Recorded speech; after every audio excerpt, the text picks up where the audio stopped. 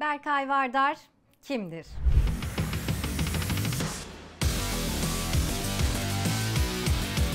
Berkay Vardar, geleceğin modern altı numarası. Beşiktaş'ın yükselen değeri bu genç adamı gelin birlikte inceleyelim. Berkay Vardar 14 Ocak 2003'te sanıldığının aksine Azerbaycan'da dünyaya geldi. O da her çocuk gibi sokak aralarında futbolla haşır neşir oldu. Futbol topu yerine yeri geldi tenekeye vurdu, yeri geldi pet şişeye vurarak gollerini attı. Onun için bir duvar ya da iki taş arası her zaman kale görevi gördü. Küçük yaşlarda saldırgan ve azimli bir yapıya sahipti. Daha sonra ailesiyle beraber Azerbaycan'dan İstanbul'a taşındı. Burada İstanbul'un Küçükçekmece ilçesinde yaşamaya başladı. Berkay Beşiktaş'ın futbolcusu ama aynı zamanda da fanatik bir taraftarı. 10 yıldır e, tuttuğum takımda oynuyordum altyapısında. Bugün sözleşmemi yeniliyorum.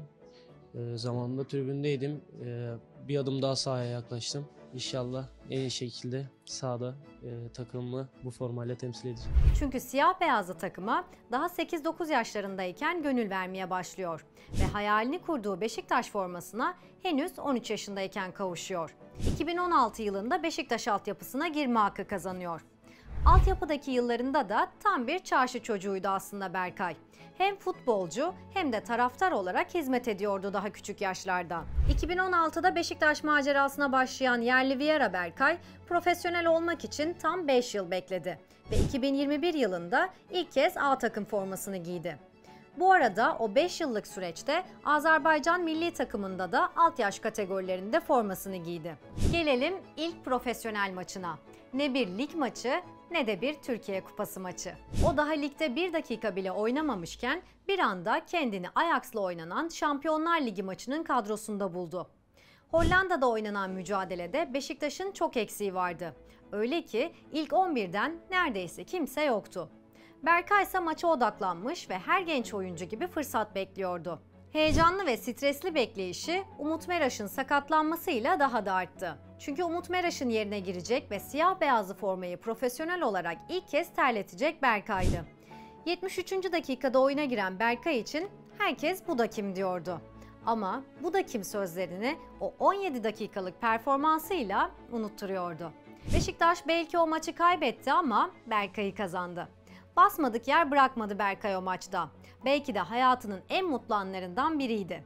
O maçın ardından bütün Beşiktaşlılar o hafta Berkay'ı konuştu. Azerbaycan doğumlu Berkay'ın Küçükçekmece'de yaşadığını söylemiştik. Ancak İstanbul'da trafik sıkıntısı yaşamamak için Ümraniye Nevzat Demir tesislerinde kalıyor. Beşiktaş için feda diyerek sevdiklerinden uzak kalan Berkay'ı ailesi de her hafta tesislerde ziyaret ediyor. Altyapı koordinatörü Mehmet Ekşi ile birlikte takıma 7-8 proje oyuncusu daha katmak isteyen siyah beyazlar da bu futbolculardan teknik ekibinde beklentisi oldukça büyük. Şimdi dönelim tekrar işin futbol kısmına. Diyeceksiniz ki Berkay Ajax maçından sonra neden forma giymedi? Hem yaşadığı sakatlık hem de Beşiktaş'ta o dönem sakatlıkların iyileşmesi genç futbolcuyu biraz uzaklaştırdı A takımdan. Başta da demiştik. Azimli ve bitmek tükenmek bilmeyen bir enerjisi var diye.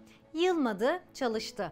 Eksiklerini kapattı ve bu sezon Beşiktaş formasını sırtına geçirdi. Beşiktaş'ın Dinamo ismi Josef da Souza'nın sakatlanmasıyla forma şansı buldu.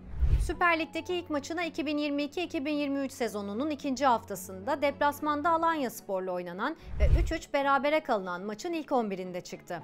Bu ilk maçında 82 dakika sahada kaldı. Ertesi hafta Fatih Karagümrük'ü 4-1 yendikleri maçta ilk 11'de başladı. Dünden bugüne Berkay'ın futbol geçmişini inceledikten sonra gelin isterseniz bir de futbolculuk özelliklerine bakalım. Ön libero kavramının futboldaki tek karşılığı Patrick Vieira. Biraz abartmak gerekirse aslında Patrick Vieira olmasaydı belki de ön libero mevkisini konuşmuyor olacaktık. Genel olarak mücadele gücü yüksek oyuncuların olduğu bir bölge.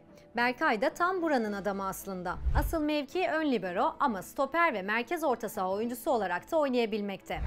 1.88 boyundaki Berkay hava toplarında hem geride hem de ileride oldukça etkili. Kademe anlayışı da oldukça gelişmiş ve kenar beklerin hatalarını kapatabiliyor.